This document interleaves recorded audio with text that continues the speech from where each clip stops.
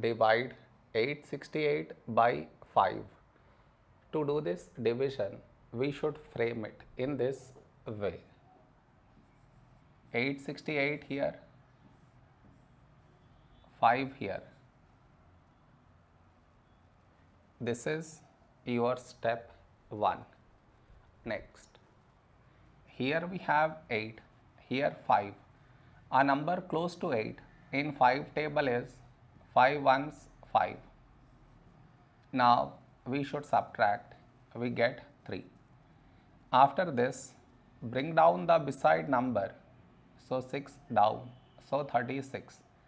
A number close to 36 in 5 table is 5 sevens 35.